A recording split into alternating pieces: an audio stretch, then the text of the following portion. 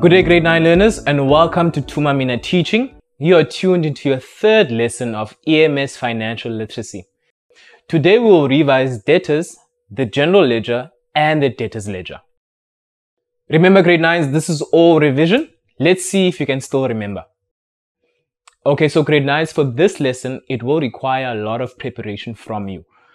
Please ensure that you have all your answer books for your debtors list, general ledger, and debtors ledger.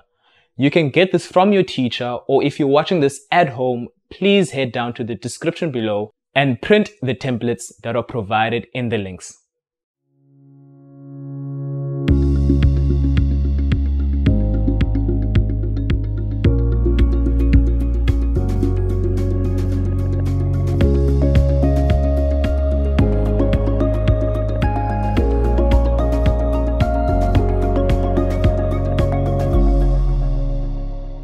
Okay, so for this lesson, we'll be looking at the information given for Ikasi Kofu Company. You will then post these journals to the following accounts in the general ledger. We'll be focusing on the trading stock and debtors control. You will also post the accounts of D. Dahlia and R. Rose in the debtors ledger. And then finally, you will prepare a debtors list on 31st of May 2022. Are you up for this task? I hope so. You got this. Okay, grade nines. So this is a loaded lesson. So let's take it bit by bit. We always have to start with the balances on the first day of the month. Let's do these balances or totals together. We will first record the trading stock balance in the general ledger. This will be recorded on the debit side of the general ledger as a trading stock is an asset and assets increase on the debit side. Therefore, the 22,800 Rand should be recorded on the debit side. Next is the debtors control balance. Debtors control is also an asset, so it will increase on the debit side and decrease on the credit side. This means that the balance should be recorded on the debit side. Okay, so now we've done the balances for the general ledger. Now let's look at the debtors ledger. So in this case, we'll be dealing with two debtors. That's R Rose and D Dahlia. First up is the debtor R Rose and she owes us 3,900 Rand in the beginning of May. And the last balance will be D Dahlia and she owes us 2,800 Rand. Okay, grade 9 learners, I think I've helped you enough. Now it's time for you to get busy. Let's get the journals on the screen behind me. If you are in class, ask your teacher for any assistance where needed. But if you're watching this at home and you need assistance, please revisit the lessons in term two. Pause this video and see how quickly you can record these journals to the general ledger and the debtors ledger. Now remember grade 9 learners, we will also be recording these journals on the debtors list later.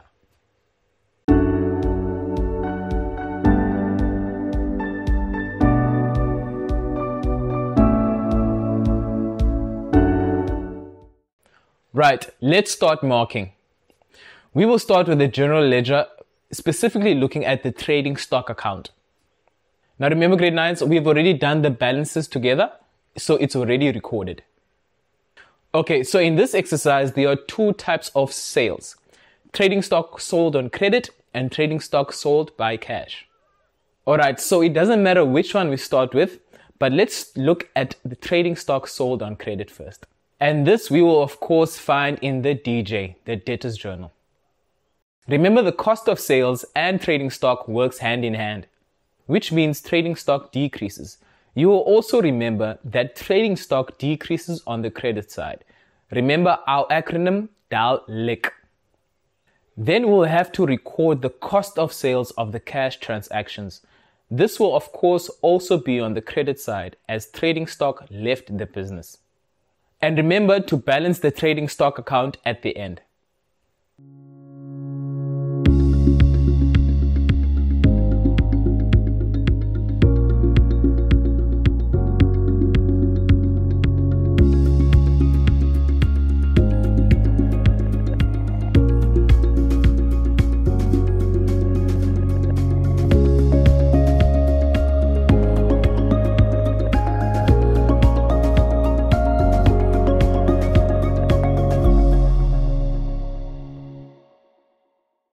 Okay, well done. So the next account we'll be looking at is debtors control. Remember, we have already recorded the balance at the beginning of the month. When debtors buy on credit, this increases on the debit side of the debtors control T account as debtors control increases. This amount of 22,350 will be found in the debtors journal or the DJ. Now remember grade 9s, at some point our debtors need to pay us back what they owe the business, right? So at this point, this will be recorded on the credit side of the T account. Oh, this is because the debt that they owe us decreases and should be recorded on the credit side. Thus, the 14,300 Rand will be found in the CRJ, the Cash Receipts Journal. Now remember, as with any T account, remember to balance the account at the end of the month.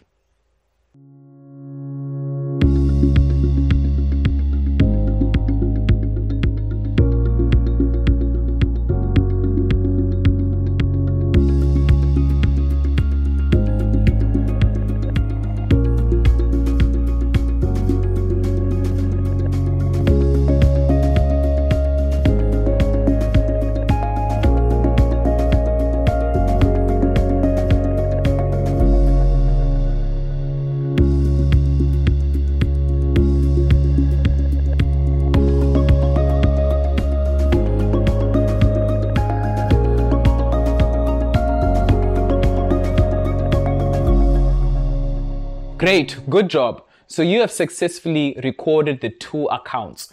Now let's look at the debtors ledger. We'll first be looking at R Rose. The balance was already recorded in the first part of this lesson. Now let's look specifically at the transactions regarding R Rose. On the 15th, R Rose bought goods on credit from us and on the 30th, they paid a part of their credit. These two transactions should be recorded in R Rose's debtors ledger in chronological order.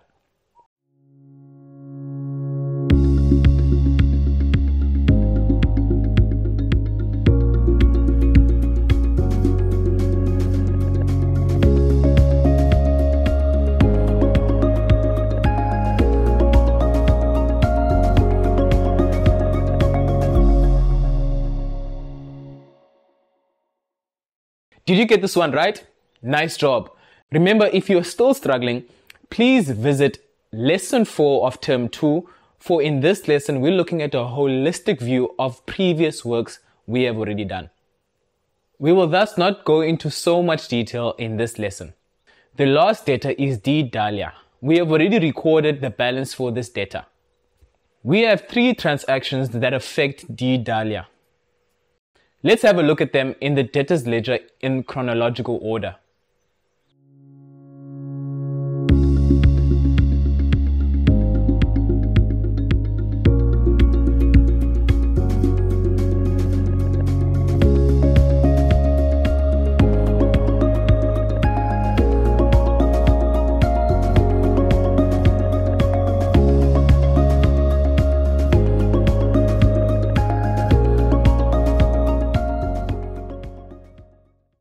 Did you get this one right? If you did, well done.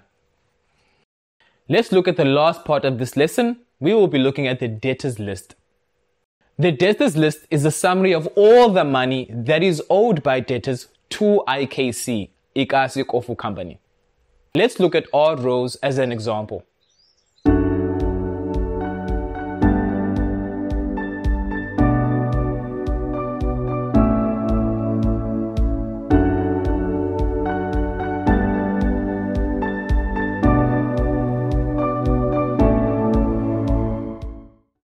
The debtors control amount of 14,750 will be the total amount that debtors owe IKC.